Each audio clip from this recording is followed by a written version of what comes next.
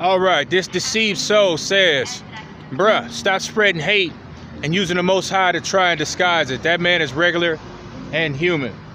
What this young gentleman is talking about, he's referring to the post that I made about exposing Billy Carson. Number one, one thing that I do hate, I hate when people want to uphold liars.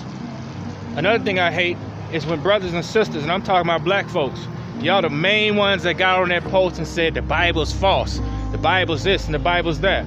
Well, I got something to tell you.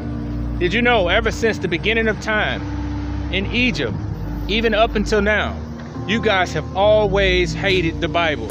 The reason why you like people like Billy Carson, the reason why you like all these teachers of falsehood is because you guys want something to hang on to to substantiate your hatred for the Bible, to substantiate your hatred for a higher power, and most of all, to substantiate your hatred for being obedient. Guys don't have that much time left. You know, and I think it's quite funny and very, very interesting that the Bible says that our people would do this, and they're still doing it. But this is the happy, this is the good thing about it. Two thirds of y'all gonna get cut off anyway. You think you're gonna walk up in there into that New Jerusalem? No, you're not gonna be up in there. You guys are in the final seconds of your disbelief and your blasphemy. Now, shout out to the Gentiles. They got faith. They don't challenge the book.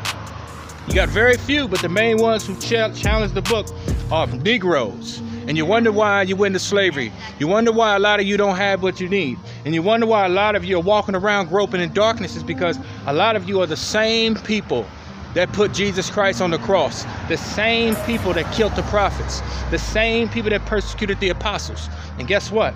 The same God is coming back and he's coming to destroy you. This is the reason why the Gentiles have salvation. Now, chew on that, bruh. Ain't nobody hating. I'm a grown man. It's all about truth. Give a damn about him being black. God is not a respecter of persons, and neither am I. If he's a liar, he's a liar. God bless.